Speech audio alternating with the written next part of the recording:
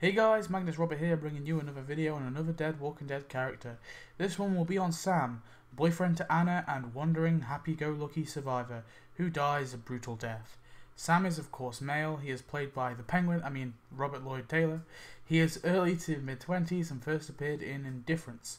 Not much is known about Sam's life pre-outbreak, he possibly met Anna before it, but it's not really known. After the outbreak, he and Anna were a part of a group that was overrun by walkers and were the only ones to escape.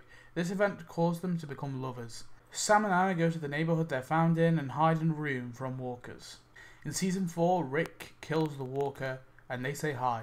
Carol fixes Sam's dislocated soldier, and they decide to split up and look for supplies. Rick gives Sam a gun and his watch so they can meet at a specific time. However, whilst looking for food, Anna is killed, and for some reason Sam never returns to meet with Rick. What happens is unknown, but sometime in between this episode and No Sanctuary, Sam goes to Terminus and is captured.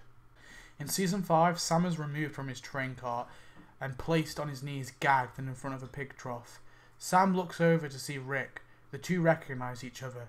Two Terminus members walk over, one with a knife and one with a bat, and this happens to Sam. Sam bleeds into the trough and dies. Sam was a kind, light-hearted character, and his death was so brutal.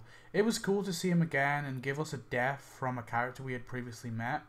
I like Sam and I really want to know how he made it to Terminus, and I just want to know more about him. He was pretty likable. Anyway, thanks for watching. Tell me your thoughts on Sam. His arc was pretty much just going from a really happy, optimistic guy until and getting the most brutal death for it.